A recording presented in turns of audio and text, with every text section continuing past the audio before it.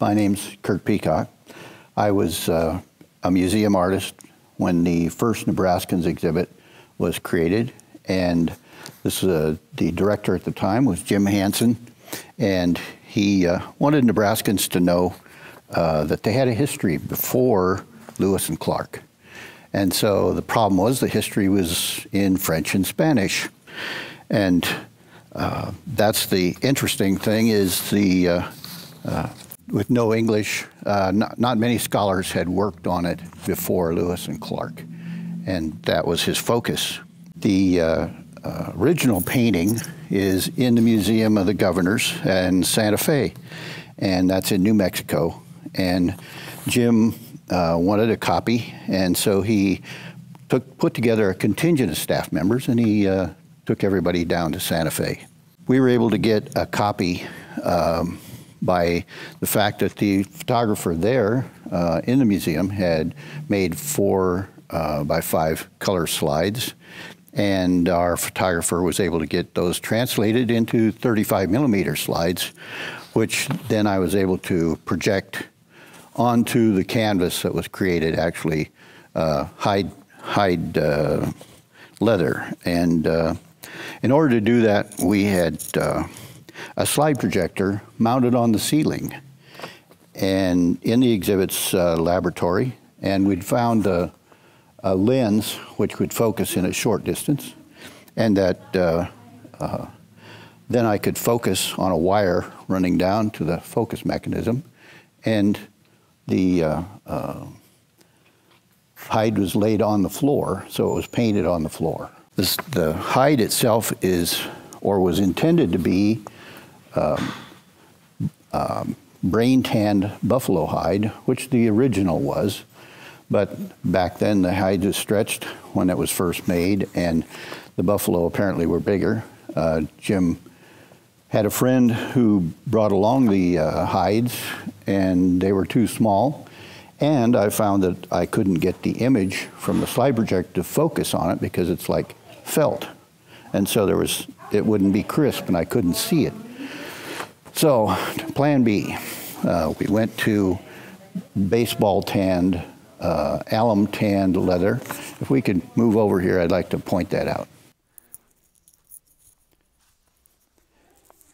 Right here where it's adhered to the wall, you can see that it's white and thin. It is baseball uh, alum tanned leather.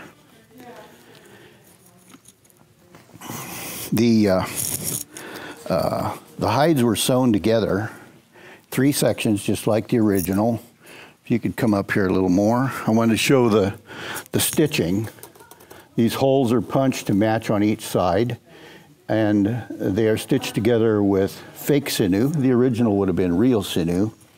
Fake sinew works just as well. It's like a, a, a thick dental floss, and it's got the right color. It was uh, uh, like run through beeswax to give it that color and consistency.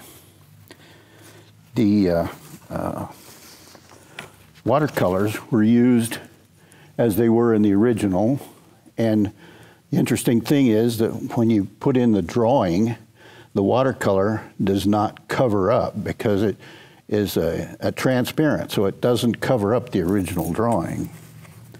The uh, uh, colors used were, were modern colors at the time. Uh, one of the blues is called Prussian blue.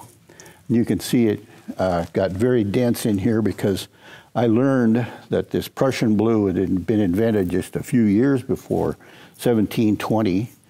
Uh, did not fade. It was one of the only colors that didn't fade, but there was no green, even though it should have been green. So what I learned ultimately was that the yellow that you see here was gone and that the Prussian blue should have been green because it mixed with yellow was now all blue.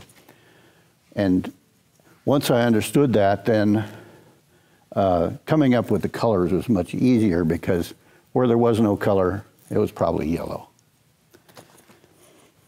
The, uh, the figures were drawn first in, uh, through the projection from the slide, and you'll notice that they're in uh, a red-brown color, But if you could zoom in here really close, you'll begin to see that there's pencil in there too. There are gray lines which I could see, and the original has much more of this, but I could see some even though the slide wasn't perfect. And that's called the cartoon. It tells me that the person who painted this was trained by European standards.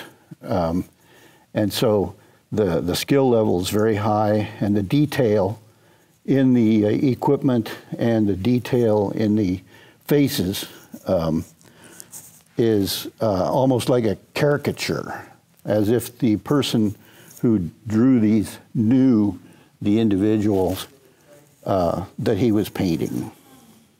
It took more time than what it should have to paint this thing. Um, and Jim Hansen, the director, said it was taking too long.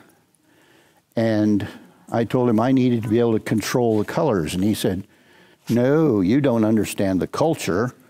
The colors are used at full power.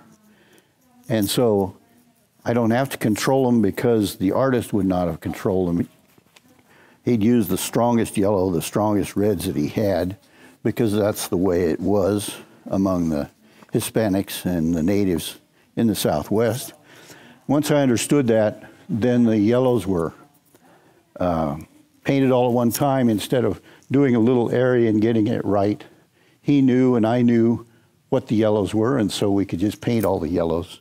And we could paint all the blues. and it worked, uh, and it went along a lot faster. That's, that's essentially the process. Um, just to sum up, we got the images, we projected them on the uh, hides as we made them up, and uh, drew them in and then uh, colored them. And uh, uh, that's really all there is to it.